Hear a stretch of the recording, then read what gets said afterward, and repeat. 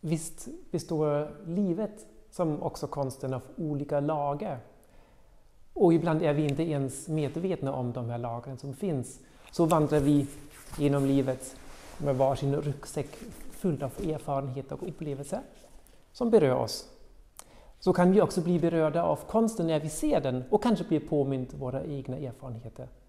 En som blev starkt påmind och berörd av just den här bilden är Eva Wetterdal som jobbar för Mindshift Gotland mot psykisk ohälsa. Hon blev berörd av den här bilden av Pia Ingelse.